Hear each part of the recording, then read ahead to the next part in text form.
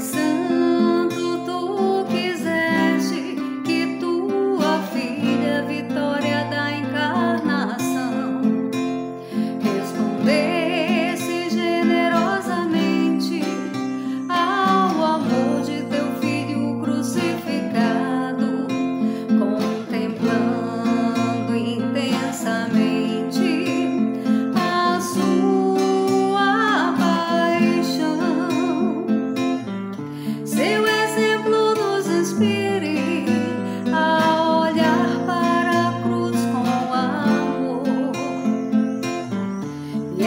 Participar de perto do sofrimento de nossos irmãos e irmãs.